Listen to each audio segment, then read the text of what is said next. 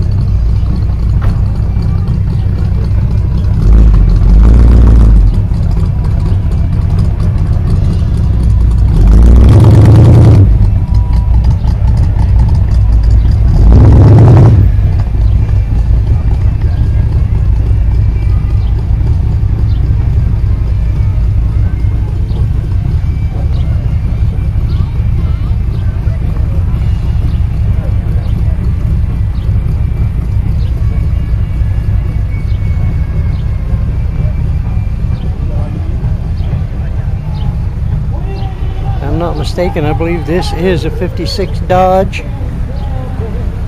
Been restored by one of the local people. This guy has a lot of vehicles.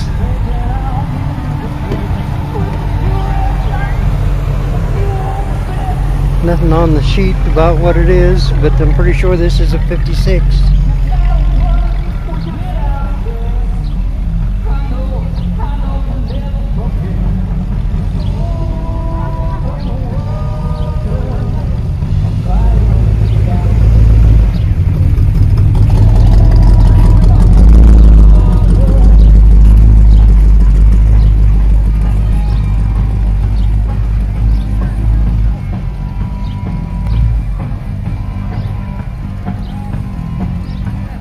John Deere 60 tricycle. Looks Like it's got a manure bucket on the front.